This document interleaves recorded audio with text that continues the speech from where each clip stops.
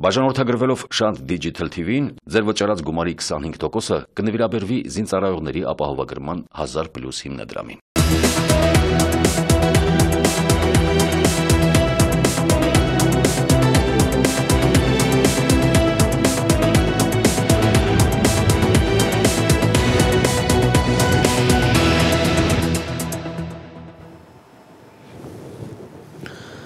Բարև ձեզ, հարգելի հեռուստատողներ, դուք դիտում եք Հորիզոնը։ Արցախի պաշտպանության բանակը հրապարակել է հայրենիքի պաշտպանության համար մղված մարտերում նահատակված եւս 147 զինծառայողի անուն։ Ցավակցում եւ զորակցություն ենք հայտնում նահատակների հարազատներին ու մտերիմներին։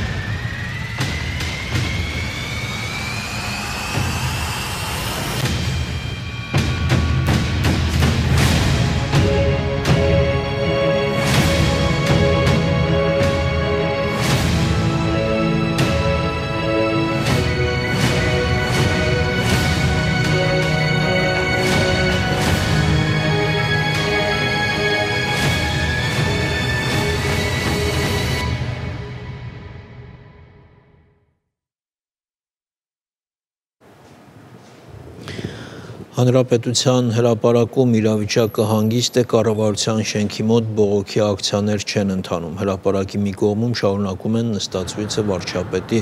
հրաժարականը պահանջող մի քանի քաղաքացիներ։ Նրանք մի քանի օր է վրաններ են տեղադրել Մայթեզրին իրենց դժգոհությունն արտահայտելով նստածույցով։ Վրանների ուղությամբ ընդդիմադիրները նաև աղբամաններ ու մետաղական տարաներ են դրել, որոնց մեջ կրակ են վառում տաքանալու համար։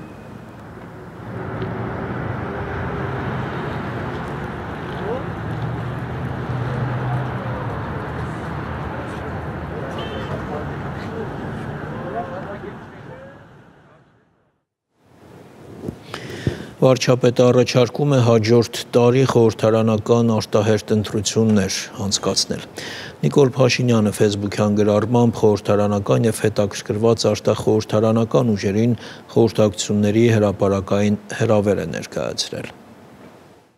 Հիմա արդեն ակնհայտ է, որ վարչապետի հրաժարականի պահանջով ընդդիմադիր գործընթացը չարժանացավ ժողովրդի աջակցությանը։ Ընդդիմությունն իր պահանջի շուրջ ժողովրդական աջակցություն գեներացնելու բոլոր հնարավորություններն ունեցել է։ Տիրապետում է ֆինանսական, լրատվական, կազմակերպչական ահռելի միջոցների։ Ունեցել է հանրահավաքներ եւ բողոքի ակցիաներ կազմակերպելու լայն հնարավորություններ։ բայց ոչ միայն չի կարողացել իր պահանջների ժողովրդական աջակցություն ապահովել, այլև նրա աջակիցների թիվը հասել է նվազագույնի, հրապարակի գործընթացը հասել է մարման, ու ոչ ոք չի կարող ասել, թե մենք բիրտ ուժի կիրառման պահել ենք իշխանությունը։ Ընթակառակը մեզ մեղադրում են անհարկի մեղմության մեջ։ Այս ամենը սակայն որևէ կերպ չի փոխում ժողովրդի առաջ կանգնելու եւ ժողովրդի առաջ պատասխան տալու մեր քաղաքական թիմի ու իմ անձնական հանձնառությունը։ Ես կարճած չեմ վարչապետի աթորից, բայց ես չեմ կարող անփույթ վերաբերմունք ունենալ ժողովրդի կողմից ինձ հանձնված իշխանության վարչապետի պաշտոնի նկատմամբ։ Այդ պաշտոնի եւ երկրի հետագա քաղաքական առաջնորդության ճակատագիրը պետք է որոշի ժողովուրդը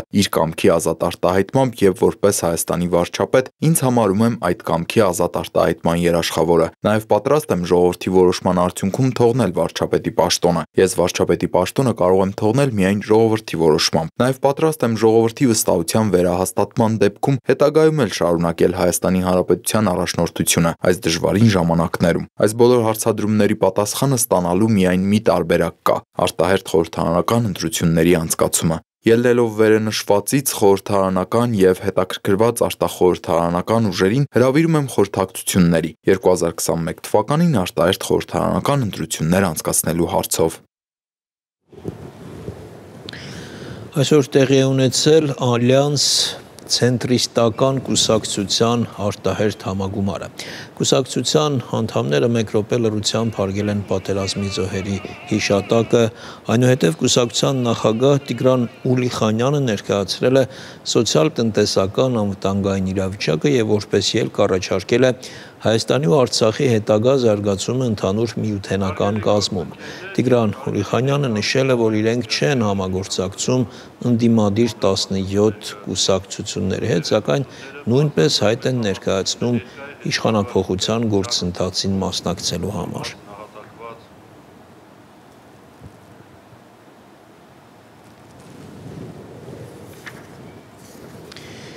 Արցախում աստիճանաբար սոցիալական ծրագրերից պետք է անցում կատարել միջնաժամկետ եւ երկարաժամկետ զարգացման ծրագրերի այս մասին հերանեկարում կարծիք է հայտնել Արցախի տարածքային կառավարման եւ ենթակառուցվածքների նախարար Հայկ Խանոմյանը։ Նա խոսել է նաեւ բյուջեի հաշվին արկա աշխատատեղերի հնարավոր պահպանման, ինչպես նաև բնակչության խաղաղ կյանքի վերադառնալու մասին։ Դիտենք մի հատված հարցազրույցից, իսկ ամբողջականը կարող եք դիտել shantnews.am կայքում։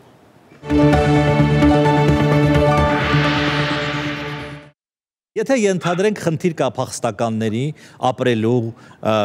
տեղ ապահովելու սնունդով, աշխատան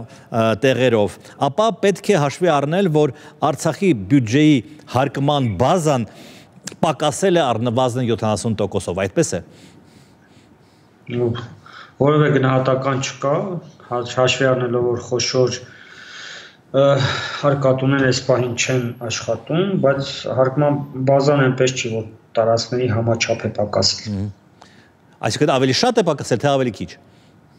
Կարող է եւ ավելի քիչ, հաշվի առնելով որ Best Metals ընկերությունը գլխավոր հարկատուներ եւ մեր ժամանակներում տվել է սեփական եկամուտների մինչև 35%։ Այսինքն հնարավոր չէ հույս դնել միայն խաղապահների եւ մարդասիրական օգնության վրա, այնուամենայնիվ ցանկացած պետություն նույնիսկ այս վիճակում պետք է փորձի ինքը փող աշխատել, այդպես է։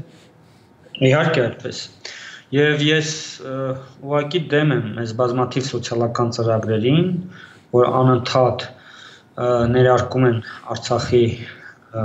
տնտեսության մեջ, այդ թվում Հայաստանի կառավարությունը, որը առաջացնում է նաև տարբեր կողմնակի էֆեկտներ։ Օրինակ Ստեփանակերտում անշարժ գույքի շուկան վարձակալության մասին է։ Խոսքը բավականին աճել է, ինչը լրացուցիչ խնդիրներ է ստեղծում։ Սա տարբեր սոցիալական ծրագրերի հետևանք է, եւ պետք է աստիճանաբար այդ սոցիալական ծրագրերից անցում կատարենք դեպի ավելի երկարատև կամ գոնե միջնաժամկետ ծրագրերի, ավելի դեպի զարգացման ծրագրեր սոցիալական ծրագրերի եւ անշարժ գույքի շուկայի փոխկապակցվածությունը լավ չհասկացա ինչպես է դա տեղի ունենում օրինակ պետությունը այս պահին փոխհատուցում է վարձավճարները տարբեր սանդղակական 40 50 60 հազար դրամ եւ Մինչ պատերազմյան շրջանում ենթադրենք 80 հազարանոց բնակարանի գինը այսօր արդեն հասել է 170-180 հազար դրամի։ Սա է խնդիրը եւ բնականաբար այն մարդիկ, ովքեր տեղահանված շրջաններից չեն, բայց Վարչով են ապրել Ստեփանակերտում, աստիճանաբար կորցնում են իրենց արցակալած բնակարանը եւ սա նոր խնդիրների աղբյուր է հանդիսանում նա մանավանդ որ այդպիսի մարդկանց գալի մասը հիմնական զինվորականներ էին Ընդհանրապես, որքան գիտեմ, աշխատաշուկան Արցախում շատ խիստ կապված էր բանակի հետ եւ ընդհանրապես բյուջետային աշխատողներ են հիմնական մասը, այդպես է։ Հիմա կպահպանվեն այդ աշխատատեղերը։ Հիմա այդ ուղությամբ լուրջ քննարկումներ են գնում, այո, Արցախում բյուջետ բյուջեից աշխատավարձեր ստանում բնակչության զգալի մասը, մենք հիմա ունենք բազմաթիվ համայնքային շրջանային կառույցներ, մեծ ապարատ, վարչական ու համայնքային իրենց փողակներով, ՓԲ-ներով, հողակներով, որոնք այսօր փաստացի չեն գործում, բայց որոնց աշխատատեղերը, հաստիկները կրճատելը կբերե սոցիալական աղետի։ Այս պահին մենք նախարարությունում մտածում ենք տարբեր քայլեր այդ իրավիճակը շտկելու համար։ Օրինակ աշխատում ենք տարբեր ընկերությունների հետ, որոնք վերապատրաստման դասընթացներ անցկացնեն եւ այդ մարդկանց կտեղափոխվեն, կտեղափոխեն տարբեր ոլորտներ։ Օրինակ ծրագրավորման ոլորտ կամ չգիտեմ, այս պահին մենք փորձում ենք նաեւ կորցված շրջանների վարչակազմերի աշխատակիցների ներուժը օգտագործել տարբեր բազաներ մշակելու գործում, այնուհետև կփորձենք իրենց ուղղորդել նաև դեպի մասնավոր ձեռնարկություններ ենթակառուցվածքները նաև ջրային ռեսուրսներն են եւ ճանապարհները։ Այս առումով ենթադրում եմ, որ ուղիղ կամ միջնորդավորված, այսինքն Ռուսաստանի խաղապահների միջոցով պետք է ինչ-որ կոնտակտ հաստատվի ադրբեջանական կողմի հետ։ Համաձայն եք։ Հավանաբար այդպիսի դեպքեր նույնպես կլինեն, որովհետև տարբեր դեպքեր ունենք, երբ որ պետք է ինչ որ չափով փոխգործակցություն լինի կամ ինչ որ չափով ոչ թե փոխգործակցություն, այլ պայմանավորվածություն լինի ռուս այս պայմանը այդպես է պաստոն Շուշիով անցնող ճանապարհով, որ մենք անցնում ենք, անցնում ենք այդ պայմանավորվածության համաձայն ռուսների վերահսկողության ներքո, միգուցե ինչ որ տեղել իրենք էլ նույնպես իրենց հերթափող անում են մեր բնակավայրերի միջով տեւաբար ինչ որ այդպիսի պայմանավորվածություններ կլինեն որոնք թույլ կտան որ เป զի ավելի վտանգավոր գործընթացներ տեղի չունեն Վերջին հարցը այնուամենայնիվ լավատեսական, որովհետև իմ ունեցած տեղեկություններով Ստեփանակերտում խաղաղ է սրճարանները, խանութները աշխատում են, մարդիկ, չգիտեմ, երեկոյան զբոսնում են, այսինքն մարդիկ վերադառնում են խաղաղ կյանքին։ Ստեփանակերտում այո, մնում է շրջաններում նույնը տեղի ունենա եւ կարծում եմ առաջնահերթ խնդիրը պետք է լինի առաջիկայում շրջաններում լավ ենթակառուցվածքներ ստեղծելը, որ เป զի Ստեփանակերտի համեմատաբար բարեկեցությունն ու անհոգությունը տարածվի նաև մյուս բնակավայրերի վրա։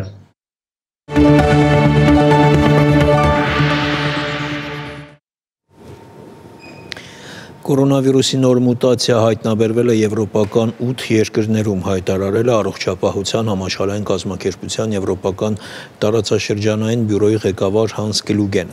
Այս տարբերակը նույնպես կարծես տարածվում է երիտասարդների շրջանում Twitter-ի միկրոբլոգում գրել նա։ Դեկտեմբերի 14-ին Մեծ Բրիտանիայի առողջապահության նախարարը հայտնել էր, որ երկրում հայտնաբերվել է կորոնավիրուսի նոր շտամ, որը նախնական ուսումնասիրություններով 70%-ով ավելի վարակիչ է, սակայն ապացույցներ չկան, որ այդ վիրուսից մահացության մակարդակը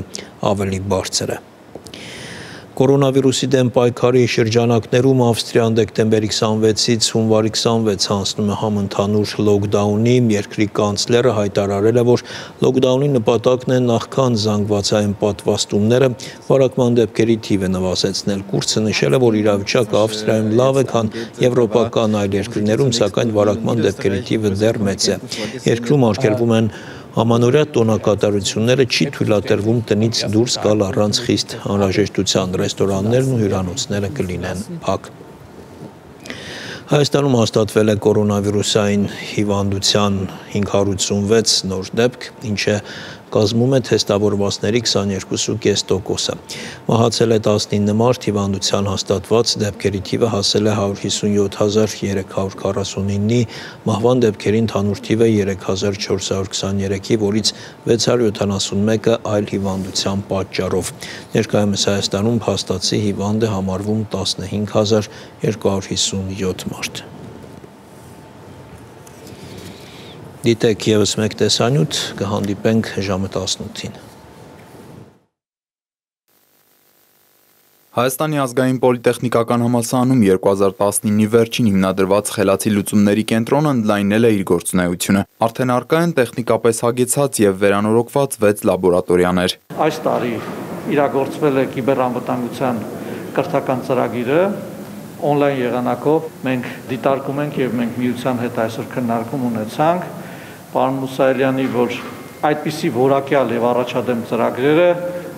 մենք կարողանանք նաեւ պոլիտեխնիկի հետ իր առաջադեմ եւ որակյալ ծրագրերի հետ ճիշտ ներառական ձևով ինտեգրենք Կենտրոնում արկա լաբորատորիաներն ունեն հետևյալ ուղղվածությունը՝ կիբերանվտանգություն, միկրոէլեկտրոնիկա, ՏՀՏ ժամանակակից ենթակառուցվածքներ, արհեստական բանականություն, իրերի համացանց ձեռներեցություն։ Բացի լսարանների կահավորելուց, նաև իրականացրեցինք մի քանի կրթական ծրագրեր մասնավորապես ԲՏԱ-նախարարության հետ համատեղ իրականացրեցինք արցանց կիբերանվտանգության դասընթացը 150 մասնակիցների համար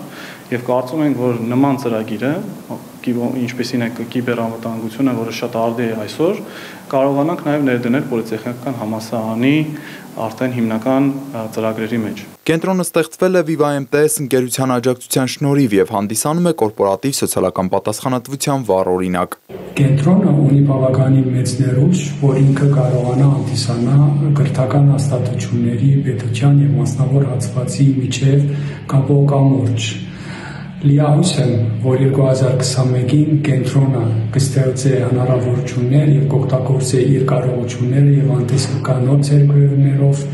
որ կարողանա մեր երկրում իր դերակատարումը ունենա կրթական ոլորտում։ Խելացի լուծումների կենտրոնը կարևոր հարթակ է գործատու բու համագործակցությունն ավելի արդյունավետ դարձնելու եւ նոր ստարտափեր ձևավորելու համար։ Պոլիտեխնիկական համալսարանի ուսանողներն օրվա առաջին կեսն իրենց դասերը կանցկացնեն կենտրոնում, որից հետո կազմակերպվեն մասնագիտական տարբեր դասընթացներ եւ տեխնոլոգիական միջոցառումներ։ Շանթ հերոստանգերություն, Հորիզոն